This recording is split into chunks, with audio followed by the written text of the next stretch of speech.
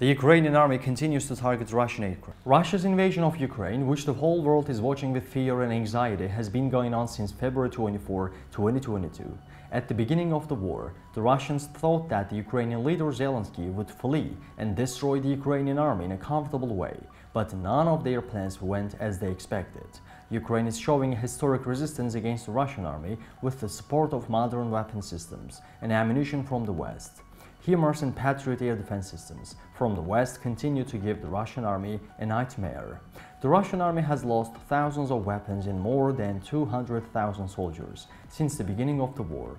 Normally, these losses should cause any country to withdraw, but the Russian army is still continuing its offensive in eastern Ukraine.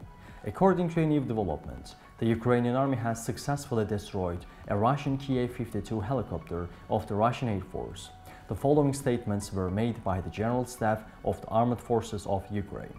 Our warriors shot down an enemy Ka-52 helicopter yesterday on the Shakhtarsk front. To reach all actual news fast and reliable worldwide, please don't forget to follow and like us.